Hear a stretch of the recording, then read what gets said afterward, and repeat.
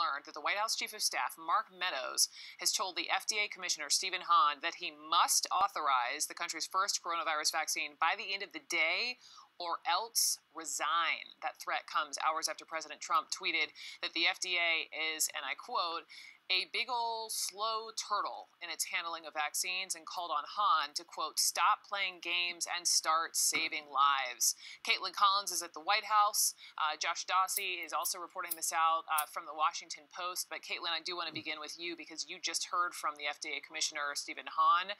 Um, what did he say about this?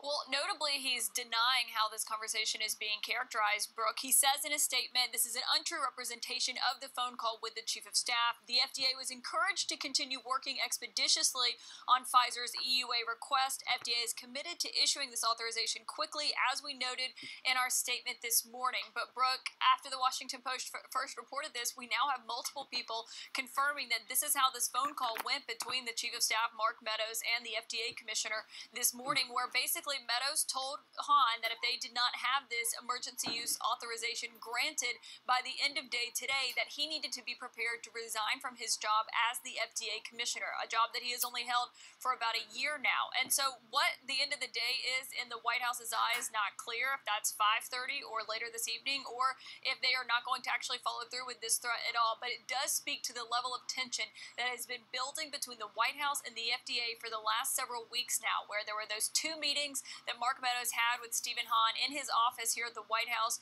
two days in a row, now culminating with this phone call today that really speaks to the president's frustration that this emergency use has not been granted yet by the FDA.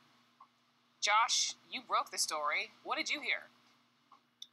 what we heard is that the president remains very frustrated, Brooke, that this is the vaccine has not been expedited as fast as he wanted it. That Great Britain uh, obviously had theirs first, which riled the president to no end. And the president's been putting on extreme pressure on his closest advisors to get the vaccine out the door and approved. And what we were told was this morning, uh, the, Mark Meadows made uh, that call to uh, FDA Commissioner Hahn in conjunction with the president's tweet uh, he attacked the FDA.